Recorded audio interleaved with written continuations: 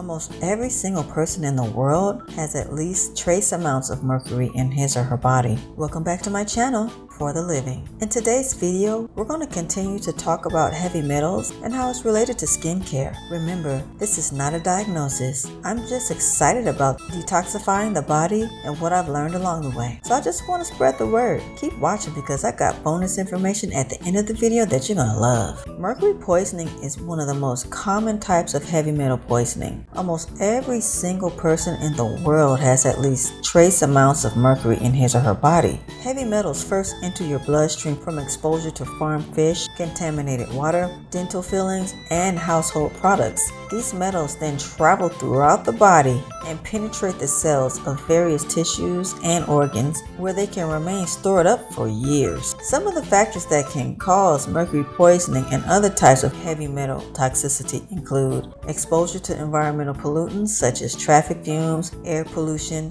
food contaminants, cigarette smoke or radiation, heavy metal, amalgam, dental fillings, silver fillings slowly release mercury into the body. Eating a poor quality diet, for example, eating farm raised fish that carry high levels of mercury. According to the EPA, the most common way we're exposed to mercury in the US is by consuming fish you shouldn't eat that contains health hazardous heavy metals such as tilefish, swordfish, shark, king mackerel, and big eye tuna. A diet that includes processed foods, especially those that are imported from foreign countries and not organically grown, and even plant foods grown in soil that have high levels of metals can also be a contributing factor. Drinking water that is contaminated with trace amounts of metals, such as aluminum, from birth, heavy metals can be passed down in utero from the mother to her offspring.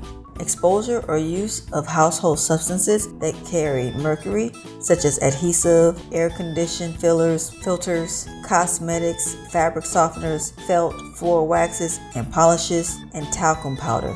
Getting tattoos, exposure to substances that carry lead, such as some chocolates, canned foods, toothpaste, old paints, insecticides, ceramic, and some pottery and soldering pipes. Use of exposure to other household items such as antiperspirants, baking powder, certain baby formulas, plastic toys and acids, aluminum foil, certain metal pots and pans, stainless steel, cutlery, coins, and some makeup, and possibly receiving certain vaccinations.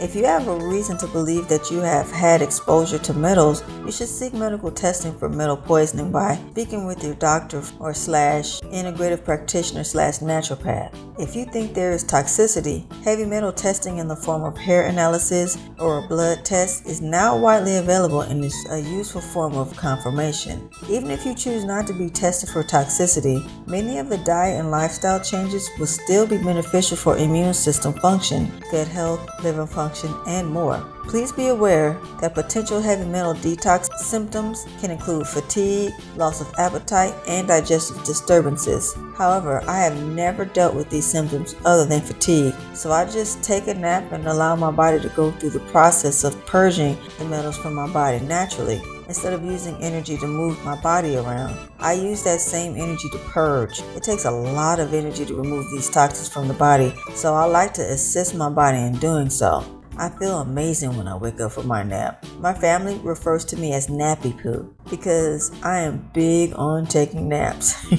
Simply because I know what's taking place and I allow myself to relax, rest, and rejuvenate my body. I deserve it. I've been through a lot over the years. Let's talk about what you think about today's video. Did you learn something new about skincare? What have you done in the past to combat acne?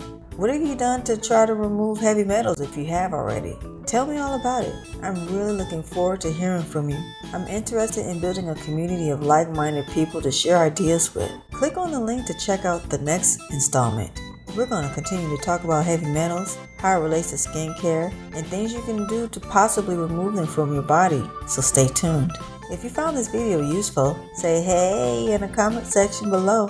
Please like the video, share with at least 10 people, and subscribe. Hit the notification button so you'll always know when I upload. Bye.